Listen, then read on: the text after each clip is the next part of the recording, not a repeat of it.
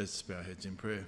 Dear Heavenly Father, we come before you this evening to thank you once again for the salvation that we have through Jesus Christ, the work of the cross, Lord, with Jesus Christ left behind the heavens and the glory, Lord, in which he operated and existed, and through whom, Lord, he created us and came to this world, Lord, as one of us, Lord, to be able to experience and endure, Lord, all the things that we experience and endure, and to remain faithful, Lord, sinless, and one day, Lord, take our place on the cross, in take our place, Lord, and shed his precious blood for our sin. And we thank you, Heavenly Father, because that sacrifice for us, Lord, was accepted by you.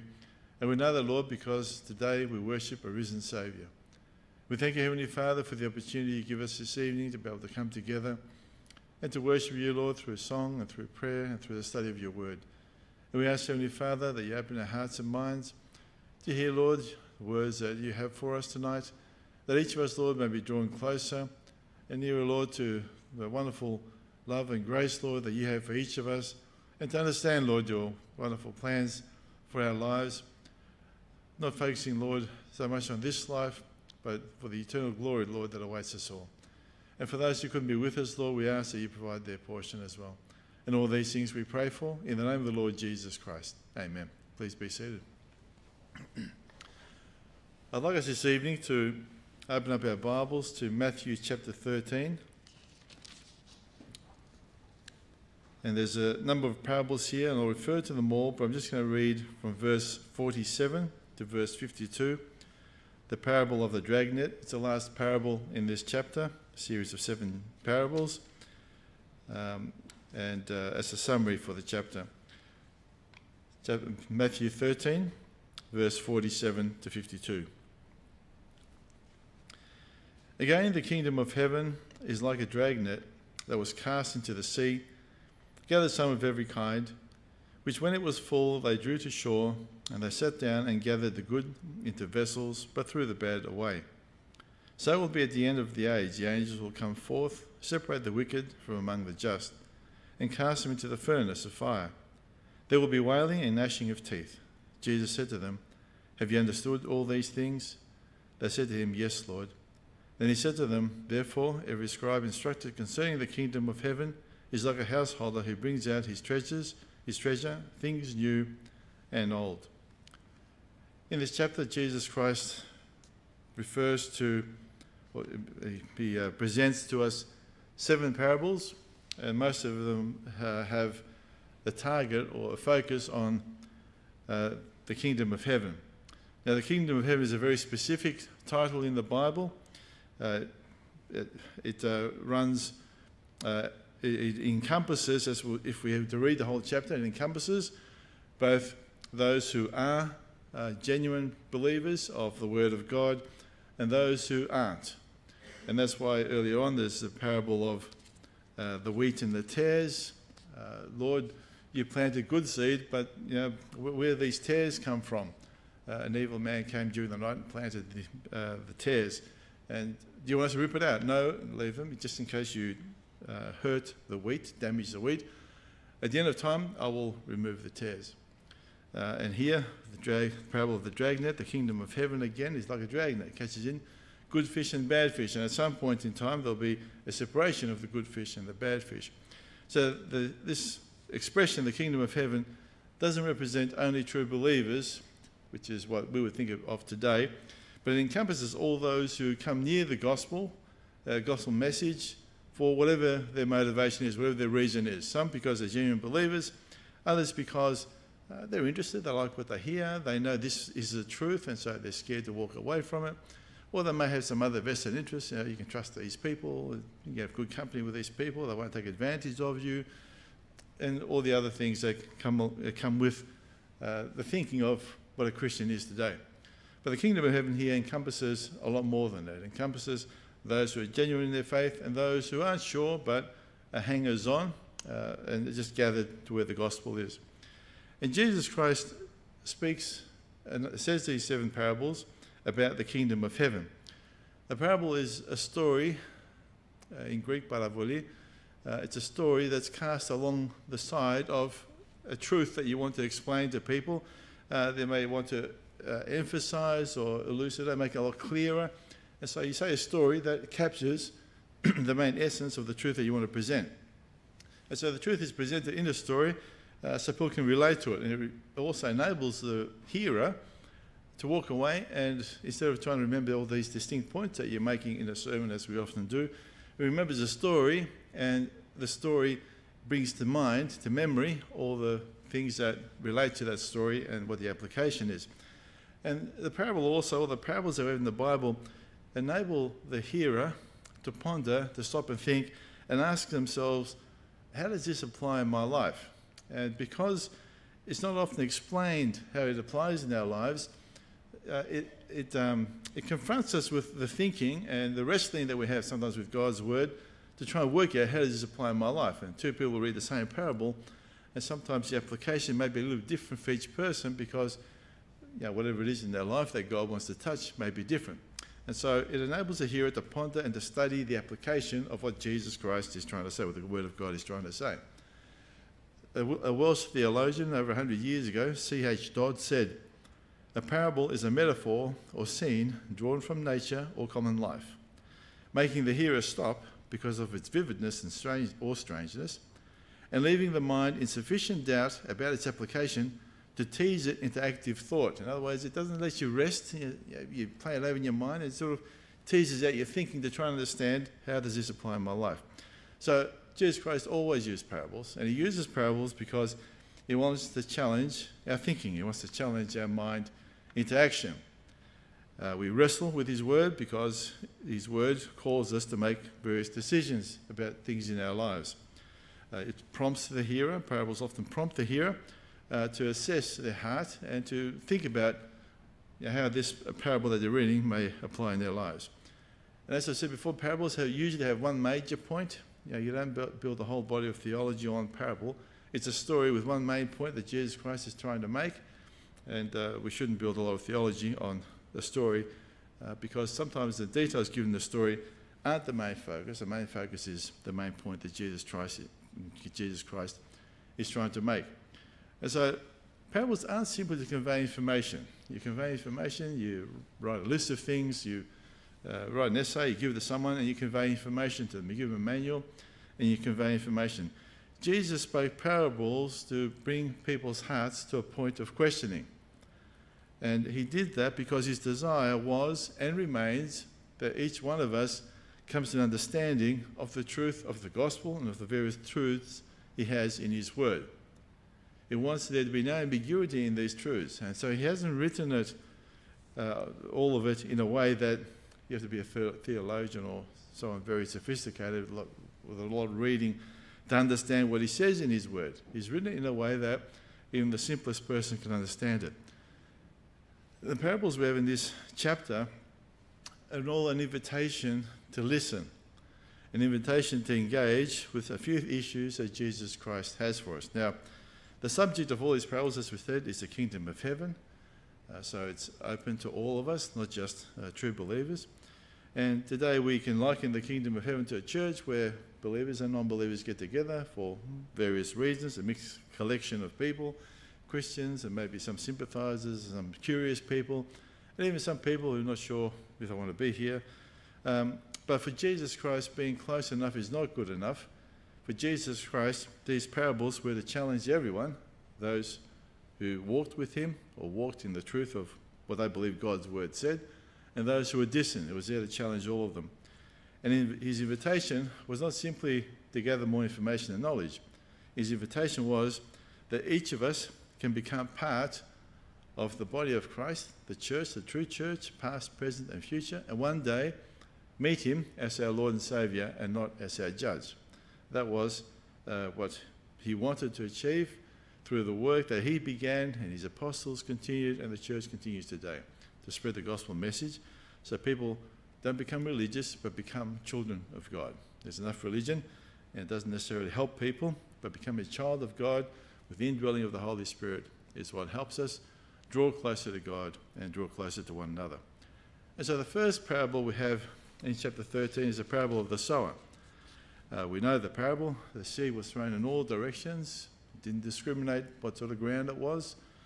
Uh, in the interpretation that Jesus Christ gives, didn't discriminate what sort of heart it was, whether it was a soft heart, ready to accept the seed, the word of God, or a hardened heart that was trodden and no seed could take root, and everything in between. It didn't discriminate uh, between any of the soils. Some hearts, soft, allowed the seed to take root and to grow and produce fruit, uh, some 30, some 30, 60, and some 100 fold.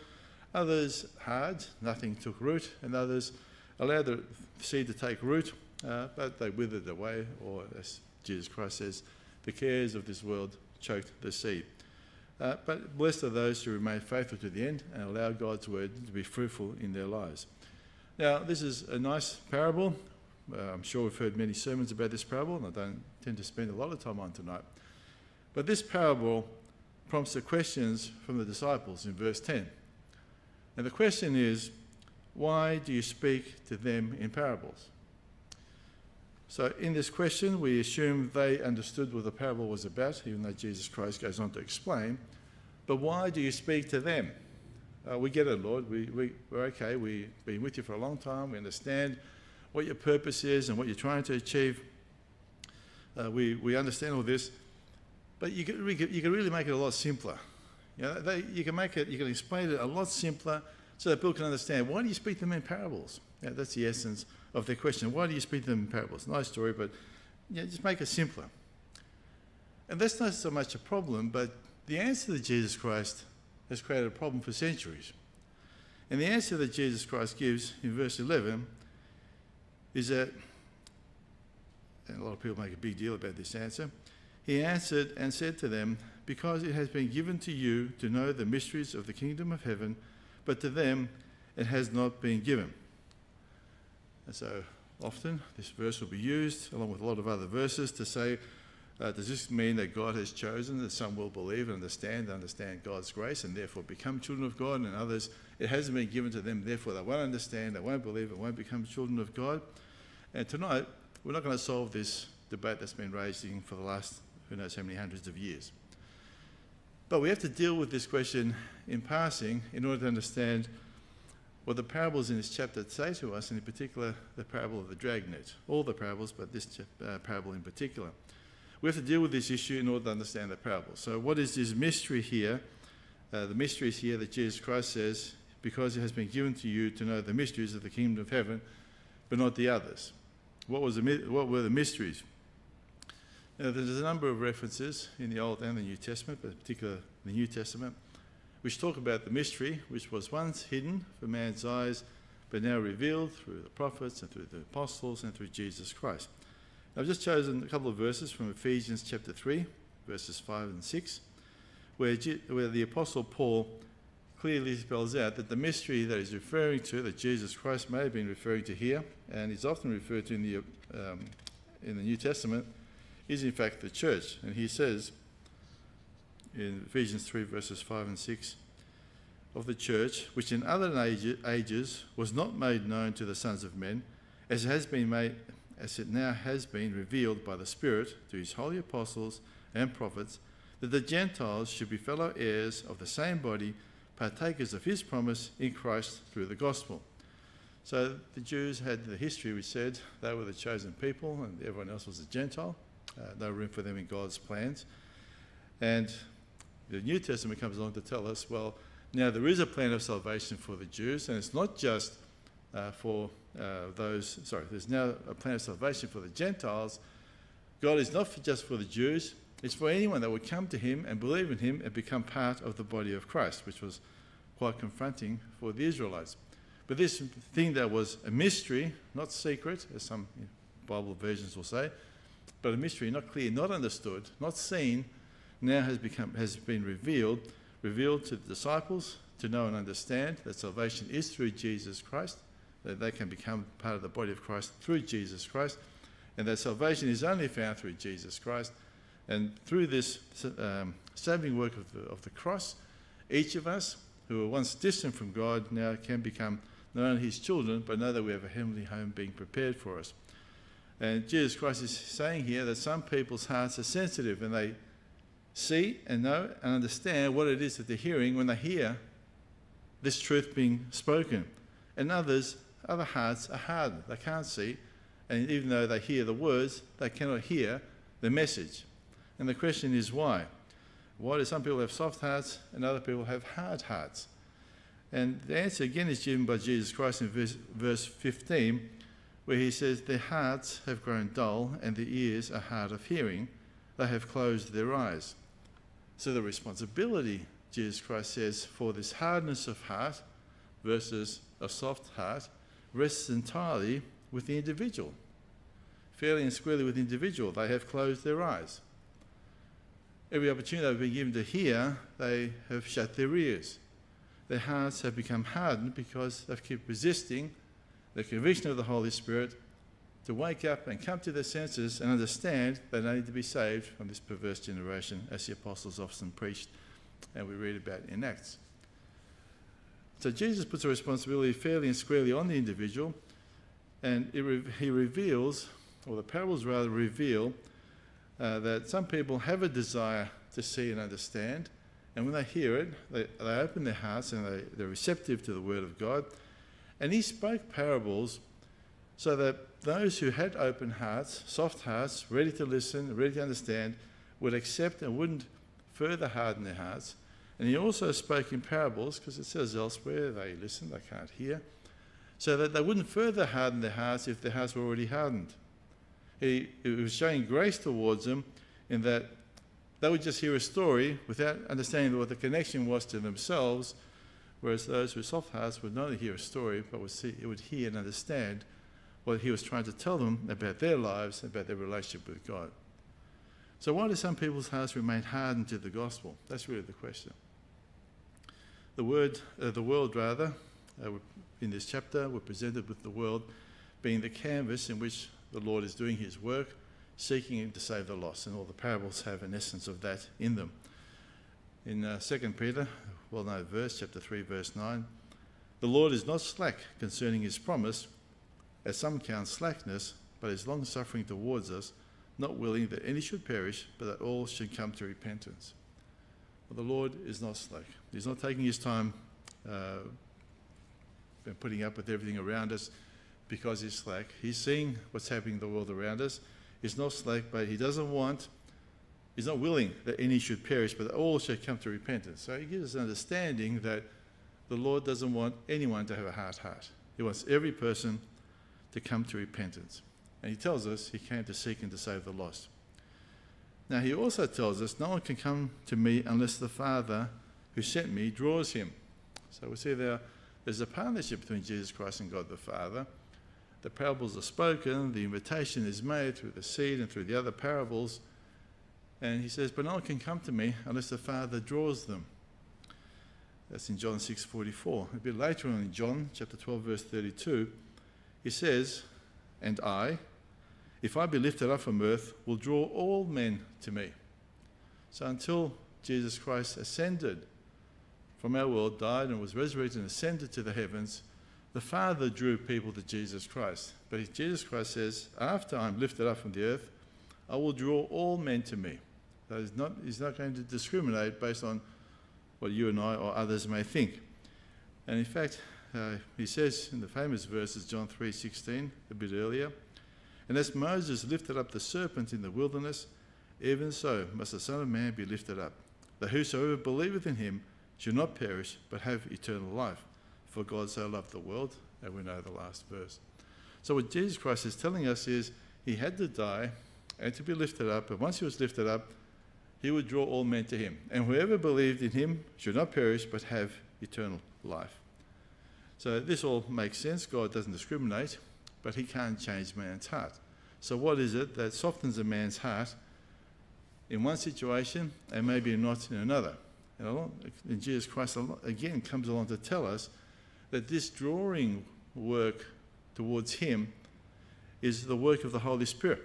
Sorry, the work of the Holy Spirit. John 16, verses 8 and 11 to 11, he says, And when He, this is the Holy Spirit, has come, He will convict the world of sin and of righteousness and of judgment. So there has to be a work of the Holy Spirit in a man's heart there has to be a response in the man's heart to understand the invitation of Jesus Christ towards him. And there has to be a willingness of man to come to him and acknowledge, I am a sinner in need of salvation, because the Holy Spirit begins with convicting man about sin, about righteousness, that if he stands before God with his own righteousness, he's destined for eternal hell. Because our righteousness, the Bible tells us, is like a filthy rag. And also about judgment. The judgment awaits those who stand before God in their own righteousness and not with the righteousness that comes from giving our lives to Jesus Christ. That's the Holy Spirit that does that. And all this is to bring us to the point, the central point of the gospel, which is the gospel is for everyone. And that's why in the parables we see the world as the scene that he's working in, the backdrop that he's working in. But not everyone comes to him. And some people's hearts are hardened. And he says, if you have ears to hear, him who has ears to hear, let him hear. We all have ears. But sometimes our ears don't connect with that inner part in our hearts where the Holy Spirit's doing its work, trying to convict us and help us understand of our sinfulness before God. And for Paul, who was an apostle to the nations, it was a very simple equation for him. He saw no barriers to anyone receiving Jesus Christ. And he said, For I am not ashamed of the gospel of Christ, for it is the power of God's salvation for everyone who believes, first the Jew and also for the Greeks. Yet, despite all this, we know that not everyone's going to be saved. Um, uh, the apostle, rather, writes in Hebrews uh, about the Lord. Today, if you hear the voice of the Lord, do not harden your hearts. Jesus Christ says himself, When I return, will I find the faith? So, despite all this work that's happening, that's not targeted to one specific group of people or per- type of person, but targets everyone. The gospel message to everyone. It's not biased. We're biased. God is not biased. We all see that the world around us isn't moving the direction that shows that God's will is being done. It's moving in a different direction. Because while the Holy Spirit is doing this work and working through us and working in man's heart to convict them of sin, of righteousness, and of judgment, there's another influencer. I shouldn't put the Holy Spirit and the other influencer in the same sentence but there's another person out there, another being out there, an evil influencer, who's doing the opposite work. And we find this in 2 Corinthians chapter 4, verses 3 and 4. But even if our gospel is veiled, it's, it's hidden, it's shielded, it is veiled to those who are perishing, whose minds the God of this age has blinded, who do not believe, lest the light of God of the light of the gospel of the glory of Christ, who is the image of God, should shine on them. And so what we have coming together is the Holy Spirit convicting on one side, the devil on the other side, blinding people, the spirit of this age, blinding people who resist, who do not want to believe, and their hearts get continually harder. And that explains why the response to the gospel message isn't simply a matter of information. If they only understood, well, sometimes they can, but their heart has been hardened sometimes because They've resisted the conviction of the Holy Spirit, and the devil has come along to harden their hearts and to blind them. And that's why it's so important when we feel the conviction of the Holy Spirit, not just about sin in our lives, but for anything in our lives, to have an open heart and to listen to what the Holy Spirit is convicting us about, not to resist. Because in resisting, our heart, in that area at least of our lives, may go hard, may, may be hardened. We need to have soft and supple hearts that the Holy Spirit can, sp- can speak to, open hearts to accept what God is trying to say to us, because He wants us to grow in our walk with Him. And the parable of the sower, uh, the parable of the sower highlights this point. You know, the receptive hearts accept, uh, some for longer, some for shorter, and some forever, and um, and they, they produce fruit, and that's how God wants us to be in our lives too. Allow His word to be fruitful in our lives and for our lives to be transformed by Him uh, as, the day, as the days get darker. After the, gospel, the parable of the sower, we have another uh, three parables which really talk about, on one hand, you know, the purity of the Word of God and what He wants to do in our lives, the church, build His church up.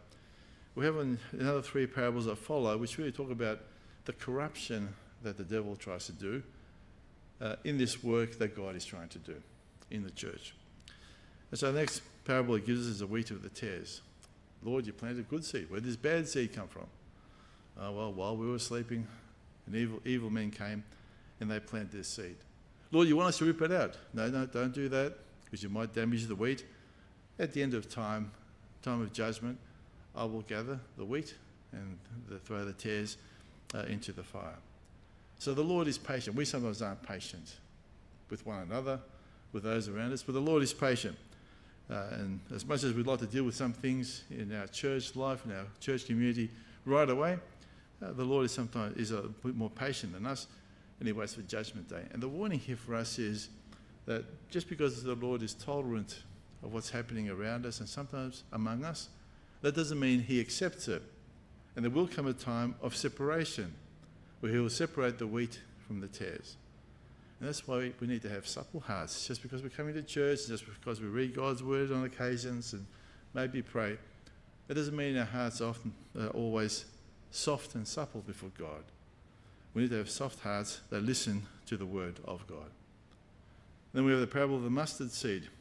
The emphasis on this tiny seed that grows into a large tree. And a lot of people have interpreted this as you know the kingdom of heaven growing and how big it is, and even the birds of the air find uh, find uh, refuge in this large tree. But what the Word of God here is trying to tell us as He groups it together uh, with the tares, this parable is not so much about how big and wonderful this tree is and that birds can find refuge in there, but how comfortable sometimes established religion becomes for people that really aren't connected, truly connected with God. The birds here aren't necessarily, uh, well, in my view, they're unbelievers. People who are, hang, people who are hangers on.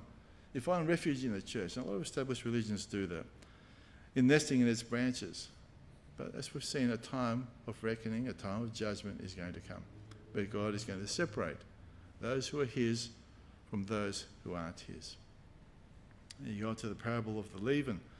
And many see this parable about the spread of the influence of God's uh, of the gospel message in the world, how it's going to permeate the whole world and transform the whole world and all those things. And the church will grow and influence all the world. Well, I'm not seeing a lot of, of that happening today. And we can point the finger as various reasons why it's not happening today. But what I'm saying is, in fact, the opposite. And if we go through God's word, every reference to leaven is uh, always, almost always negative reference uh, to leaven. For the Jews, leaven was associated with impurity and corruption, and the thought of some leaven hidden in flour to them was uh, offensive to their way of thinking. Uh, and so the picture here is presented of this tiny bit of leaven hidden in a massive amount of flour, uh, and it, it, makes the whole batch of dough rise. Jesus here is saying that, uh, in my view, that the Word of God does build up, uh, the, creates the church, builds the church. But a little bit of yeast can get in there and make the whole thing rise. And why it's rising It's not because of the Word of God. In Matthew 16 6, Jesus Christ said, Take heed and beware of the leaven of the Pharisees and the Sadducees. Take care. Take heed. Beware of the leaven of the Pharisees and the Sadducees. And maybe what it's saying is the church, as it grows, there'll be things that'll come in and swell people with pride and swell people for all sorts of other reasons and not because of the gospel. And we need to be careful of that. Uh, the next two parables that we have here, before we get to the parable of the dragnet, uh, are often used to describe people coming to Jesus Christ. The man finds and hides a treasure and sells all that he has to buy the field. When you think about that, uh, you, know, you, start scratching the surface of that sort of uh, idea in this parable. It, it creates a problem for us because man really has nothing to offer Jesus Christ to buy anything from Jesus Christ. And even if he did, Jesus Christ is not for sale and salvation is not for sale. Um, and so, you know, what are we suggesting here? That we're going to buy him and hide him somewhere? It goes contrary to everything else that the Bible tells us. So if we believe in Jesus Christ, we're to be vocal, we're to be part of the Great Commission to the world around us. But from God's perspective, this parable makes a lot of sense. You know, we always look at it from our perspective, but from God's perspective, it makes a lot of sense. Because Jesus Christ came. God so loved the world that he gave his only begotten Son that whoever believes in him should not perish but have everlasting life. And we're told that Jesus Christ has purchased us for a price. God gave his own son to purchase a salvation for us. It's not so much us finding a treasure uh, and hiding it and burying it and buying a field, as much as it is Jesus Christ coming, you know, the ultimate payment from God, because he saw in us eternal beings created in the image of Jesus Christ. And he came, and when it says hide here, in Greek, the word can also mean kept, safe, secure. To keep us safe and secure until the day when Jesus Christ returns to take us to be with him in eternity. The second pearl, uh, the second of these two last, second last parable, the man discovers a pearl of great price and sells all to buy it. Again, from a human perspective, we would say that the pearl of great price, and many great sermons and tracts have been written about the pearl of great price, uh, about man should give everything to obtain for himself what Jesus Christ have, and not taking anything away from that. But again, if you scratch the surface, what is it that we can buy from God? We can buy from Jesus Christ. How can we buy anything from Him? We as broken human beings. What's for sale? And so, from God's perspective, however, this parable says a lot. Because the parable says in verse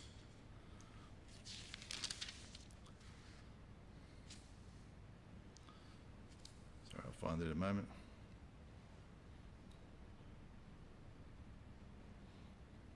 And in the previous parable as well, sorry. Uh, it says, uh, For joy over it, he goes and sells all that he has. And here it says, When he has found one pearl of great price, he went and sold all that he had and he bought it. Now, from God's perspective, there's, you know, there's a very interesting perspective here in that God saw the value of man's soul. He created it in the image of his Son, created man in the image of his Son, didn't want the death of the sinner, and for the joy here it says, he goes and sells everything that he has to buy that field, the pearl. In Hebrews 12:2 we read, looking unto Jesus, the author and finisher of our faith, who for the joy that was set before him endured the cross, despising the shame, and has sat down at the right hand of the throne of God. And so we see Jesus gave everything to purchase a valuable treasure. We often don't see ourselves as a, a treasure. But in the Old Testament, Israel was a treasure. In the New Testament, uh, we see how valuable we are in the eyes of Jesus Christ. It was Jesus Christ who gave up everything for man in Philippians 2, verses 5 to 8. Let this mind be in you, which was also in Christ Jesus, who being in the form of God, did not consider it robbery to be equal with God, but made himself of no reputation, taking on the form of a bondservant, and coming in the likeness of men. And being found in appearance as a man, he humbled himself and became obedient to the point of death, even death of the cross. So he left everything behind to die in your place and my place. And that's the value he places on each of us. And we see it again when God said, when Jesus Christ says, For God so loved the world. We're precious in his eyes. We're precious in his sight and his eyes. And it points to how much Jesus Christ loves man's soul uh, and the warning that Jesus Christ gives here for all these parables, well, a lot of the parables, is Whoever has ears, let him hear. Let, let him open his ears and understand. And we come to the final parable, the dragnet, which is the one we started with tonight. Spread out across the water, weighted on the bottom, and the ropes, uh, the boats take it out, and they drag it to shore. And once on shore, the fish are inspected, the good are put into vessels for keeping, and the bad fish are thrown out. They're separated. The fish for eating are saved, the rest are discarded. Uh, what does this parable mean when it says the kingdom of heaven is like a dragnet? It means that the kingdom of heaven gathers everyone in. The gospel gathers a lot of people in. And some of us come and we come because we understand the gospel message and we give our hearts to Jesus Christ, receive forgiveness from Him, repent of our sin, receive forgiveness from Him, and become children of God. Others are drawn in because they know it's the truth and they're too scared to walk away from it. I was a bit like that when I was younger, too scared to turn my back on God because I knew He was there, and not willing enough to believe in Him because uh, at that point in time I didn't think I was that bad. And some people are like that. Others are drawn for other reasons. The different reasons that everyone's drawn uh, is not our concern tonight. The point of the parable is that everyone is to search their own heart, not to doubt their salvation. Not one minute to say, Am I saved or aren't I saved? That's not the point here that Jesus Christ is trying to make. But what he's trying to make is sometimes we can fall into a spiritual rut and just go through the motions of what it means to be a, a religious person, a Christian, and not open our ears. We Allow our ears to be dull, our hearts to be hard, and not open our ears to what the Lord has to say. In Hebrews 12:15 it says, "Looking carefully, lest anyone fall short of the grace of God, lest any root of bitterness springing up cause trouble, and by this many become defiled." There are things that can draw us away from Jesus Christ. Unfortunately, there are things that sometimes we pay more attention to than the saving message of the gospel. And there's things in our lives that can take us away. Timothy talks about, Paul says to Timothy about, I can't remember the guy's name, who was shipwrecked. You know, sailing on the high seas, he lost his way. He was shipwrecked somewhere, never to return. And that can become one of us if we're not careful, if we allow our ears to become dull and our eyes blinded, because that's what the enemy wants. So tonight, I want us to think about the gospel message. Most of us, I believe, are born again Christians, who've given their hearts to Jesus Christ, know that we're children of God. Let's, not, let's be careful not to fall into a rut with our thinking and say, it's all good. I'm all doing well. But let's allow God's word to challenge us in our thinking, our daily walk with Him, to understand more about God and what He expects of us as His children, and how He's given us Jesus Christ as our Lord and Saviour. And as Paul says, is there anything He won't give us if He's given us Jesus Christ as our Lord and Saviour? Is there anything He can't give us? There isn't. But sometimes, if we don't open our eyes and open our ears and allow our hearts to be dulled, we can't see the glory that awaits us and the power that Jesus Christ can give us, not to do all the miracles that sometimes capture people's imaginations, but to be a light in a world of darkness that desperately, desperately needs to see Jesus Christ. I want us to think about those words tonight. The gospel message is for each of us. Not just at the point where we became a child of God, but continues every day in our lives, prompting us to think about how we're walking and how we're dealing with various things, and not to fall into a rut, but every day, a new day with new challenges, to commit it to the Lord and allow Him to work in our lives. May God bless His word in our hearts. I'll just close with a prayer and then we'll have a song afterwards. Dear Heavenly Father, we come before you, Lord, to thank you once again in Jesus' name for your mercy and your grace. We thank you, Heavenly Father, for the invitation to join you, Lord, in eternal glory. And we thank you, Heavenly Father, that that doesn't depend uh, on our abilities, doesn't depend, Lord, on our skills, but it's so dependent on the finished work of Jesus Christ on the cross. We thank you, Heavenly Father, for your word and how it prompts us to constantly look to Jesus, not to be sidetracked, Lord, by so many noises that exist in the world around us. And we pray, Heavenly Father, you help us truly focus on your word and allow you, Lord, to deal with our hearts.